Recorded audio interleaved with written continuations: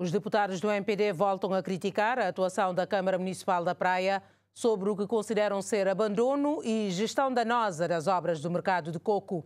O deputado Alberto Melo afirma que o governo mostrou total disponibilidade em apoiar financeiramente a conclusão das obras do mercado, mas que não avançaram por birra política do edil Francisco Carvalho.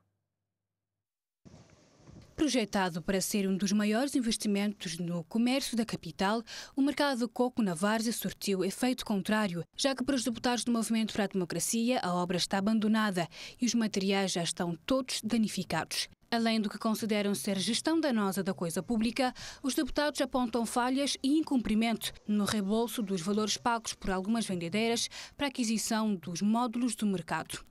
Esse mercado no Cabo de foi visita por essas condições, um mercado que tinha todas as condições para terminar a obra que foi iniciada.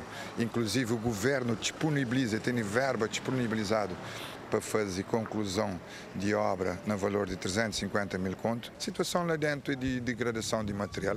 Quem que sabe que é uma obra, sabe a hora que tem abandono de vários, vários anos de uma obra, a degradação, se ele era 350 mil conto no início de mandato para concluir, gosta de ser muito mais a 400, 500 mil conto para concluir, para modo e deixa material que já estava eh, eh, adquirido, eh, degrada, degrada de uma forma, de uma forma triste mesmo. Para o deputado Alberto Melo, concluir as obras seria muito menos custoso custoso do que as demolir. O mesmo acrescenta que desde o início do mandato da atual equipa camarária, o governo mostrou total disponibilidade em apoiar financeiramente a retoma e a conclusão das obras, mas pelo que considera ser bira política, as obras continuam paralisadas e abandonadas. Aquela obra ali foi planeada de facto para resolver um problema que nós identificamos muito que tinha na cidade da Praia, não fica com tristeza bem para as obras e hoje aqui no Catel é concluído por simplesmente bira política e por má vontade, má vontade. Inclusive ele, eh, eh, o atual presidente, eh, faz anúncio de fazer demolição,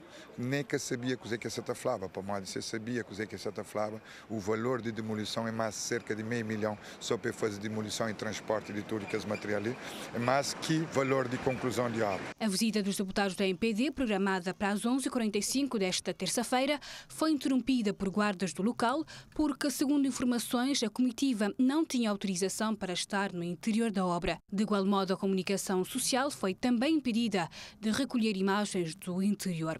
A ida dos deputados às obras do mercado de coco enquadra-se no âmbito das visitas aos mercados da cidade da Praia para se prepararem para o debate político sobre a boa governança que acontece por esses dias com o primeiro-ministro.